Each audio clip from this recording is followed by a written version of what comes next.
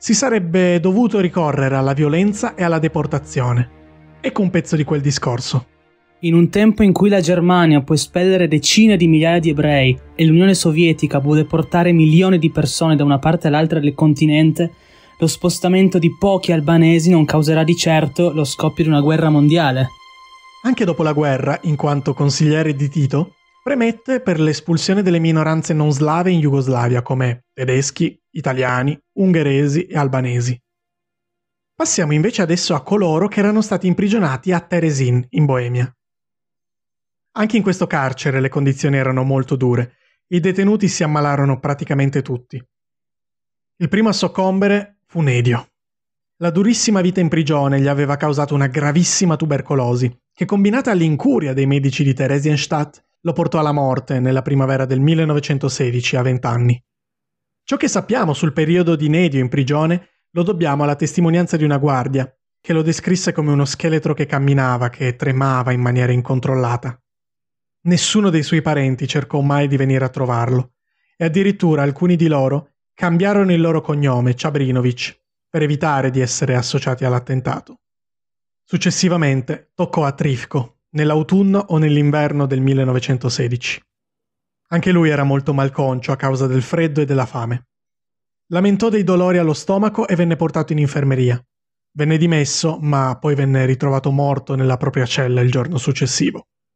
Secondo alcune fonti si era suicidato, ma molto più probabilmente morì di inedia, visto che l'ultimo ad averlo visto vivo, Ivo Kranicevic, l'amico di Vaso che gli aveva nascosto le armi, raccontò che praticamente Trifko non si reggeva più in piedi.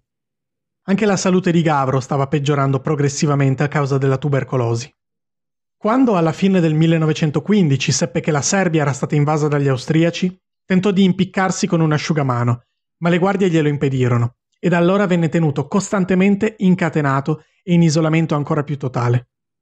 In questo periodo, nel 1916, Gavro ebbe alcuni colloqui con uno psichiatra, il medico militare Martin Pappenheim, che si trovava in servizio a Theresienstadt in quel periodo.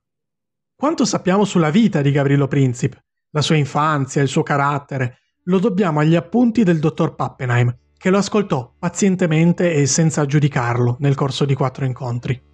Non sappiamo perché dopo il quarto non ce ne furono altri.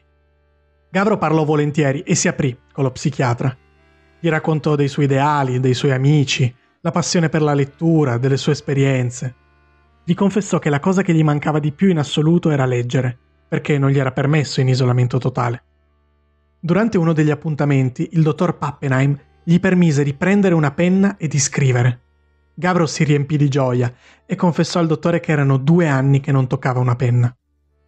Nel 1917 morì anche Lazar Djukic, il ragazzo che aveva presentato Vaso a Ilic e che era stato condannato a dieci anni. Le dure condizioni del carcere compromisero irrimediabilmente la sua psiche e morì in un reparto psichiatrico. In questo periodo le condizioni di salute di Gavro si aggravarono ulteriormente. Soffriva di tubercolosi fin da bambino, ma le dure condizioni di prigionia la fecero degenerare ulteriormente in una forma di tubercolosi ossea particolarmente grave che lo colpì alle articolazioni.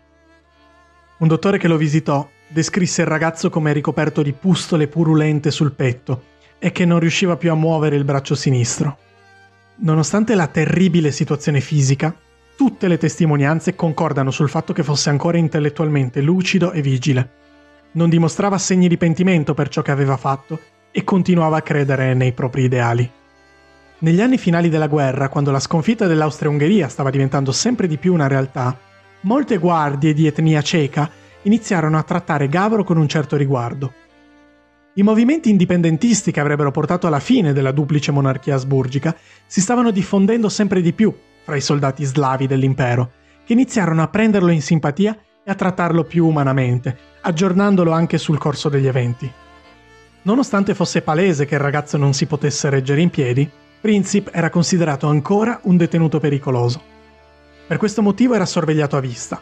Dentro la sua cella vi era una guardia col fucile con la baionetta inastata e fuori dalla porta della cella altre due guardie.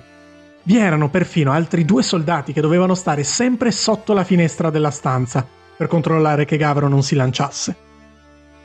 Nel frattempo la situazione del suo braccio sinistro peggiorava.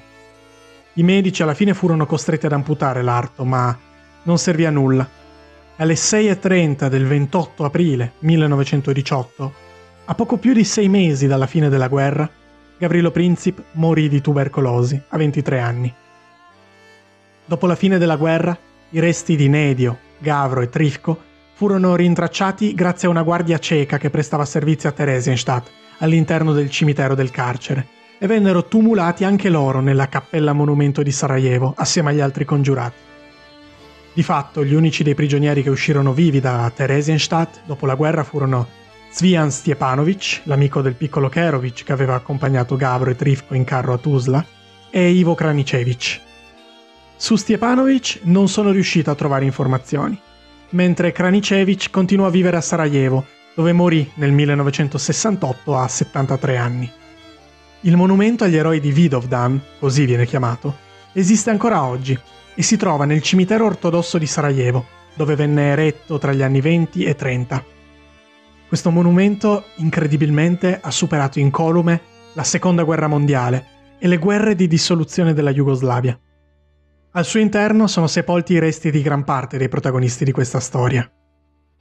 Gavrilo Princip, Trifko Grabes, Nedeliko Čabrinovic, Danilo Ilic, Veliko Čubrilovic, Mishko Jovanovic, Nedio Kerovic, cioè il piccolo Kerovic, e suo padre Mitar, Jakov Milovic, il contrabbandiere, Marco Perin, Vladimir Gacinovic, l'ideologo della giovane Bosnia che viveva in Svizzera, morto in circostanze misteriose negli Stati Uniti nel 1917 e dopo aver servito da volontario nella marina francese durante i primi tre anni di guerra.